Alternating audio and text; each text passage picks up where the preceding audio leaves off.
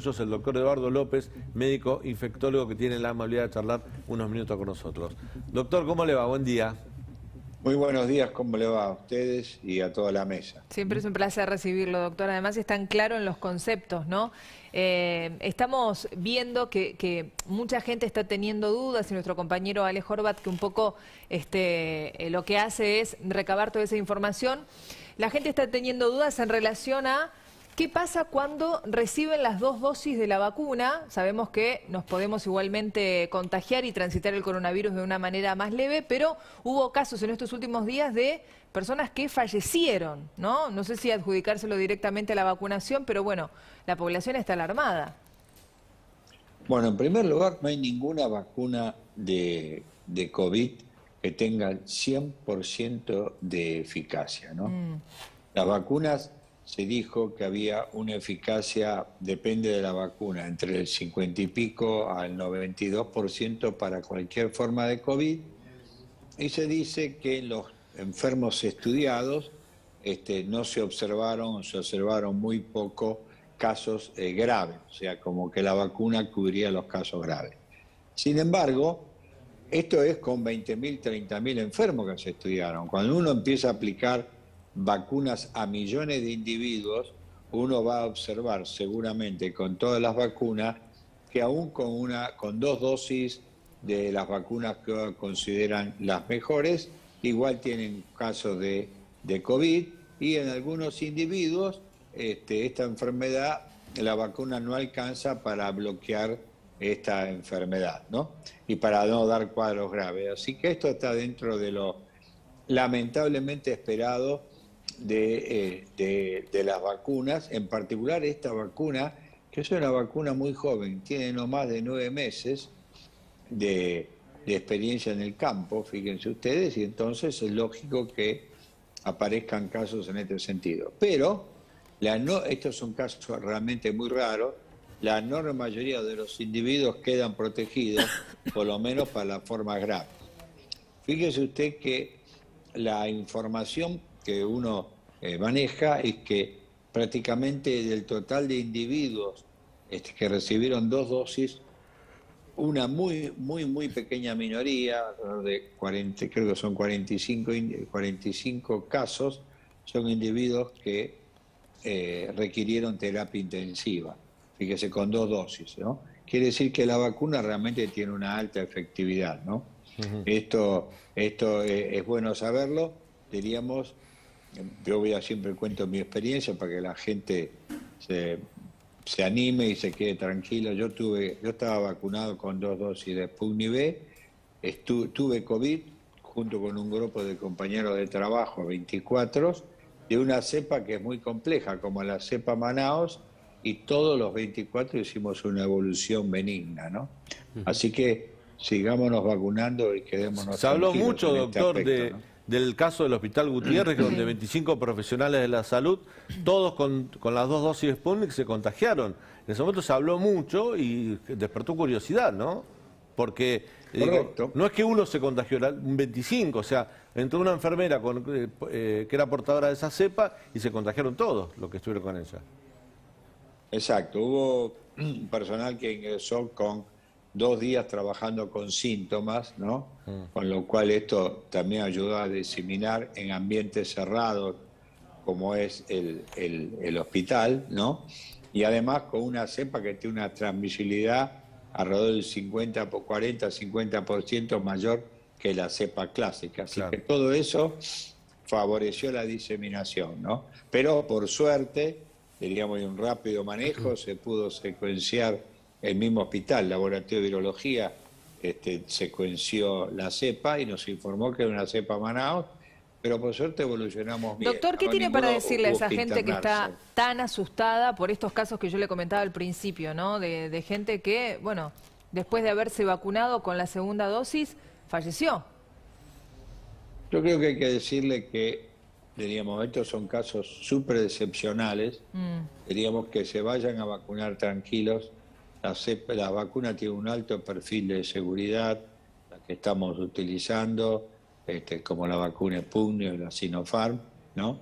Y que, este, y que estos casos son realmente extremadamente infrecuente, por lo tanto que se vayan a, vacunar, ¿no?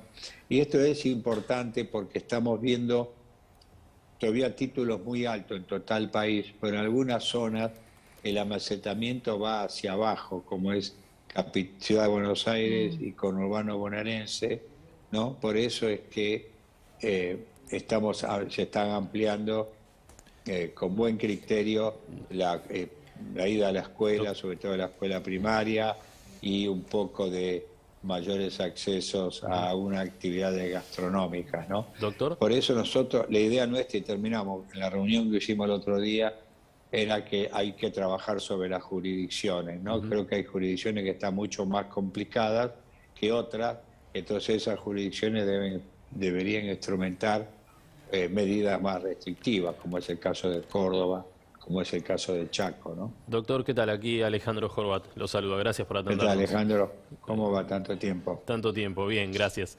Em, le quería consultar, pues, bueno, usted claramente es un hombre de la ciencia y en la ciencia en general las decisiones se, basan en datos, pero por su rol de asesor presidencial inevitablemente eh, entró al mundo de, la política donde muchas veces eh, las decisiones se basan, eh, se, apoyan no tanto en datos sino en otras cuestiones. Em, ¿cómo, fue esa experiencia? Em, y, le quiero consultar si le valió algunas frustraciones, porque por ejemplo en el caso de las clases tal vez no, era lo, más indicado cerrarla o, ir a la, a la virtualidad y ir a continuar en la presencialidad. Digo, ¿cómo vivió esa experiencia? No, la experiencia de la escuela, a ver, donde hay un grupo de expertos siempre hay opiniones divididas. Diríamos, esto es, inexorable y uno busca al final de las, de las, de las charlas y de los disensos encontrar un consenso para seguir, pero también se asume que finalmente las decisiones son políticas. Desde el punto de vista técnico, los datos que hay hoy por hoy para el cierre de la escolaridad primaria, primaria hablan de que no son muy sólidos el cerrar la escuela, este, cerrar la escuela. Sin embargo, si usted hace medida restrictiva con cierres muy importantes, como fue la semana pasada, no hace dos semanas, mejor dicho, todos los estudios muestran que cuando uno hace un cierre completo, la escuela tiene que acompañar, ¿no? Ahora, distinto es cuando usted discute escuela primaria contra escuela secundaria, porque la escuela primaria no usa casi el transporte público. Son escuelas distritales, la mayoría barriales, incluso las que son privadas, la mayoría son barriales, ¿no? Este, y el rol, diríamos, en ese sentido se ve muy bien en las escuelas parroquiales, por eso es bien la palabra. Entonces no se justificaría, digamos, cerrar las escuelas. Por eso es bueno la medida que decidió provincia de Buenos Aires de abrir la actividad de la escolaridad primaria.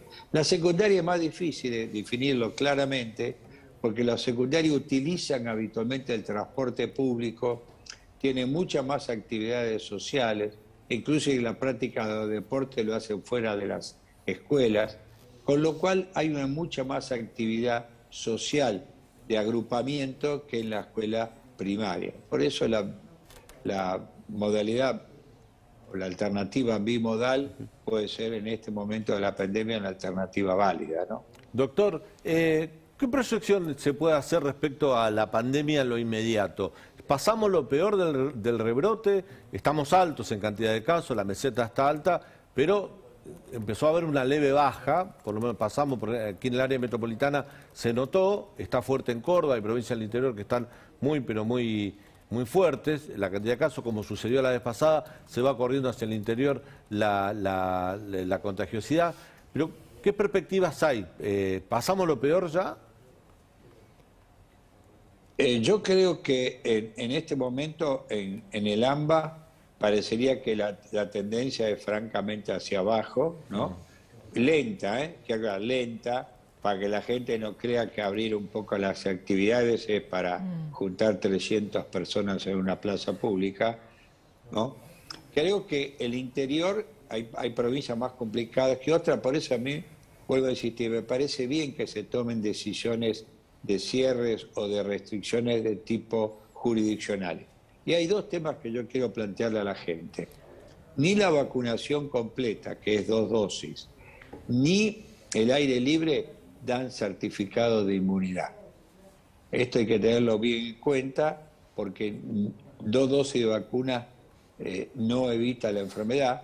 Y en segundo lugar, Argentina todavía no tiene inmunizada una suficiente cantidad de personas para vislumbrar, mira lo que digo la palabra, vislumbrar una expectativa tipo rebaño, entre comillas, este, en los próximos dos meses. ¿Está bien? Mm. ¿Mm? Doctor, ¿y por qué todavía se ve tanta cantidad de víctimas fatales a pesar de que los contagios están disminuyendo? Ah, eso es una pregunta interesante. Le comento, Argentina tiene entre el 20, 20, años y 39 años el 43% de los casos.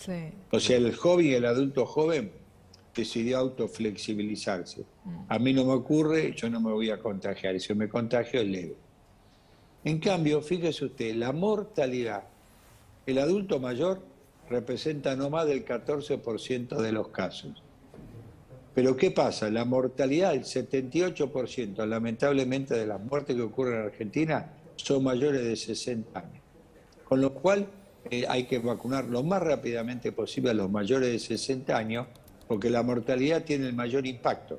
Si bien ha aumentado el uso de la terapia intensiva y de la, y de la mortalidad en el, en el adulto menor de 60 años, no impacta en la mortalidad final en cuanto al número de casos. Mm. Quiere decir que si bien aumentó más de 100% la internación en terapia de, los, de los menores de 60 años, la mortalidad sigue estando confinada en forma muy significativa a los mayores de 60. Y hay un dato que no es menor, nosotros tenemos circulando sobre todo la cepa Manaos, es una cepa que tiene capacidad de evadir el sistema inmune, con lo cual usted necesita mayor cantidad de anticuerpos para que la gente entienda, ¿no? Para poder protegerse. Y esto no es tampoco un tema menor, porque justamente yo creo que parte del aumento de la mortalidad en menores de 60 años está dado por la circulación de estas cepas que son mucho más agresivas como se demostró en Brasil, ¿no? Doctor, eh, breve, Sofi tenía una pregunta, lo más breve posible. No, era, era en base a todo esto mismo que estamos hablando, de la capacidad de generar anticuerpos, como hablábamos en el caso, por ejemplo, del presidente Alberto Fernández, que él estaba vacunado y sin embargo también contrajo la enfermedad. ¿Puede ser que contrajo la enfermedad porque no tuvo los síntomas y al ser asintomático generó menos anticuerpos? No, el, presidente fue al revés. Estaba vacunado e hizo la enfermedad.